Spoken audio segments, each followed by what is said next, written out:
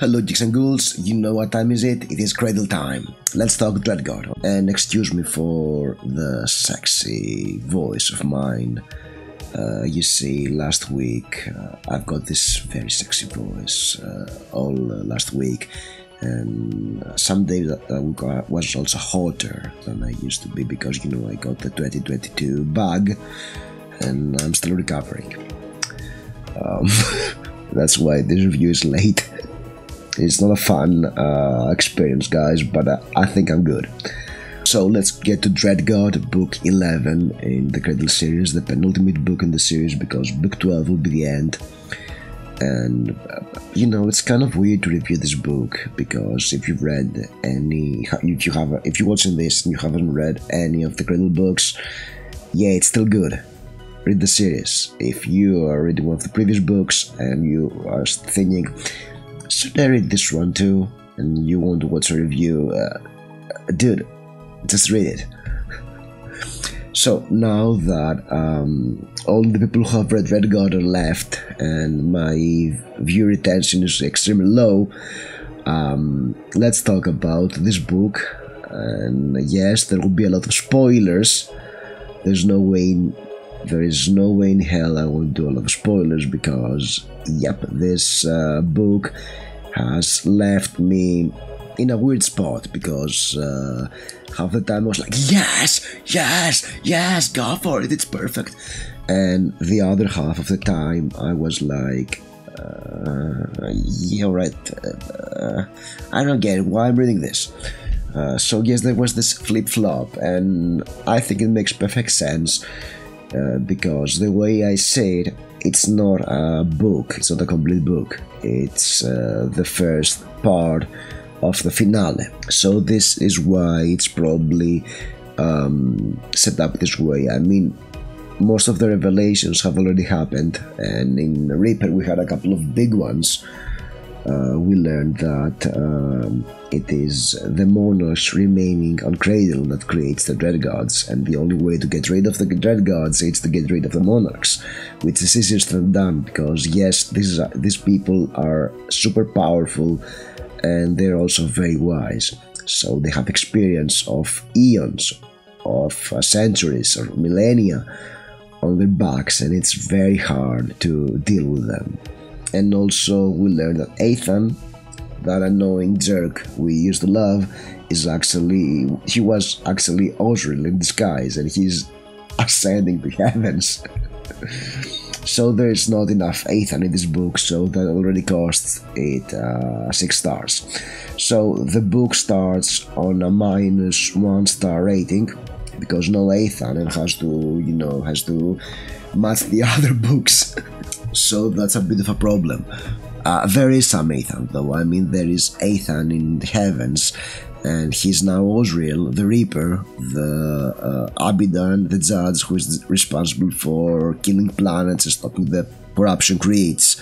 Um, but his experience in Cradle has changed him. He is uh, teaching Lindon, and Yerin has taught him a lot, and it, it has humanized him a little, it made him softer because he went back to Cradle to there is there, there was this anecdote uh, early in the series.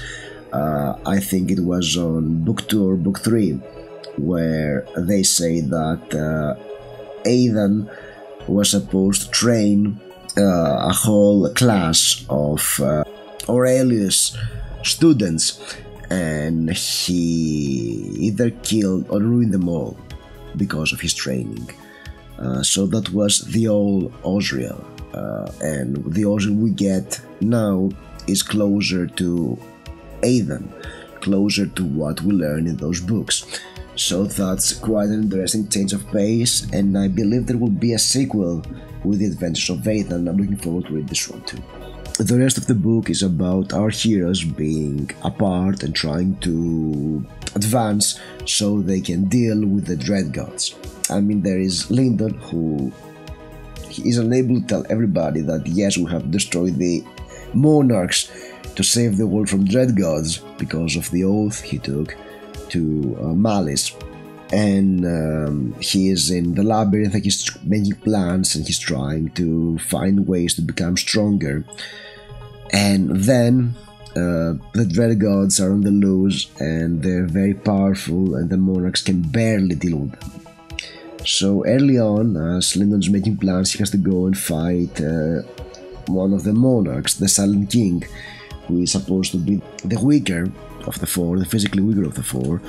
And he actually does manage to piss uh, the Silent King so much that uh, he gains his attention and uh, the Silent King, the a White Tiger Dreadgod, who is able to mind control people, makes a promise that I will um, take over everybody you love and care for. So Lindon, being Lindon, he goes paranoid and he makes counter plans to save his people, his family, and his friends. And um, at the same time, Yerin has to go and be a disciple for the Red Faith Sage, who is a dreadful cultist uh, and really hates this uh, this cult, his cult's gods um, but he has to go there in order to become stronger, maybe become a monarch or a full herald, or you know, maybe um, slay some of the cultists and steal their power. So, yeah, but even on that cult, there is a lot of uh, mayhem, there's a lot of infighting that it's not just you know politics at some point. All hell breaks loose because the dread gods are active. Everything is going to hell in on cradle Orthos and Ziel are sent to some ruins to find a dread, um, dragon remnant. And yeah, also that's not going very well. They have a lot of misadventures, and Ziel is a character I do like because he's stoic and very broken, tr- but trying to fix himself. And that's always a positive part of it. And Orthos, of course, is Orthos.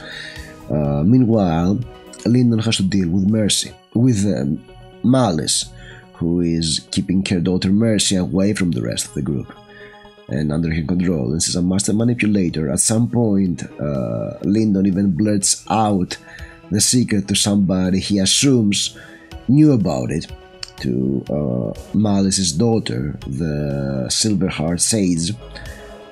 And uh, this creates a whole um, cascade of events on that front, and they have to fight against the Silent Titan, one of the Dread Gods, the Dread God who destroyed the Sacred Valley in Book 9. And Malice can barely keep up with him. Lindon and uh, the Sacred Heart and uh, the rest of the Akura clan try to deal with him. And as he is uh, hit and he's injured, he swaps places with the Sun King, who takes over half the city of the Akura clan and things go very wrong for everybody.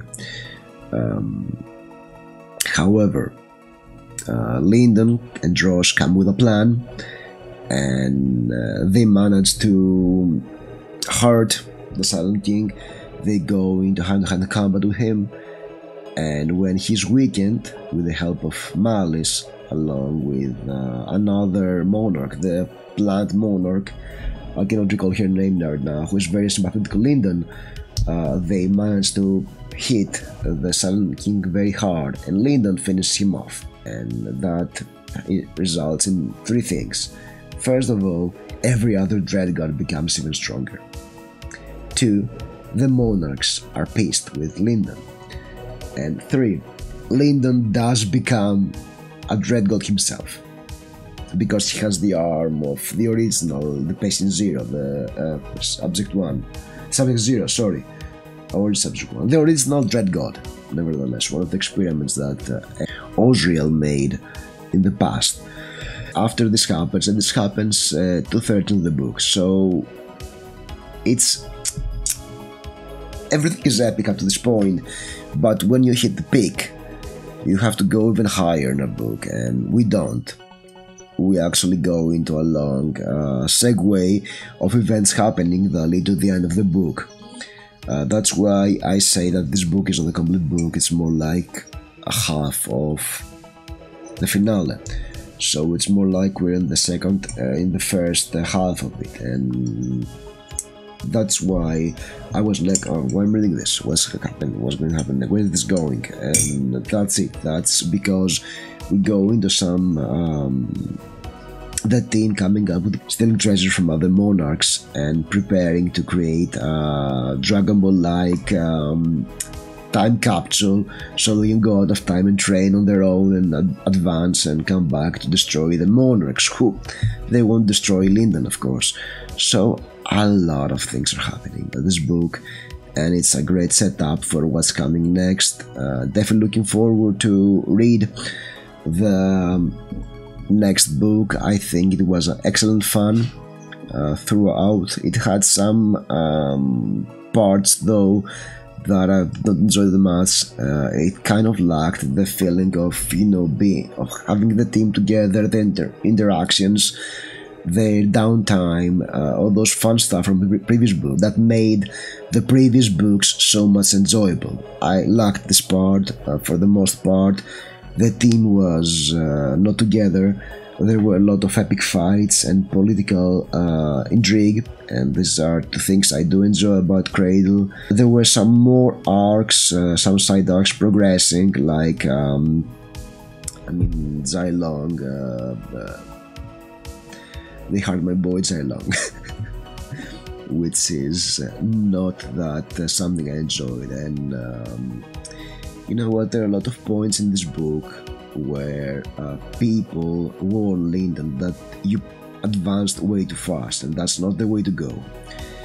And I feel that uh, this book does advance too fast, or maybe has to deal with the consequences of advancing too fast because uh, we reach the peak and it's become even more epic and um, we see a lot of uh, insane action, big battles, and you have to enjoy, but at the same time, it feels like all those fond memories, all those fond uh, parts of going there and the relationships built and uh, the friendships gains and uh, the enmities, the bridges that were burned and are being gapped again, they were too short. It was like an advancement throughout the book and um, a mad jog and sometimes advancing is not what is satisfactory, it's staying a while and enjoying life. And that's something that this book definitely missed for me. So that's why I'm not enthused, but I do understand it's the penultimate book and the world's coming apart. So yeah, uh, everything is urgent and nothing is normal anymore. Uh, so I'm looking forward to reading the next book. Um, I don't I want to, don't want to say that this is my favorite book. I'll probably rank it uh, on my uh, bottom third tier in books, but I do really have to read the ending because I feel like that this book is half of it without the next book. Uh, what was your opinion about Cradle? Did you like Dreadgod or not? Leave a comment below, and I'll see you soon. Thank you for watching.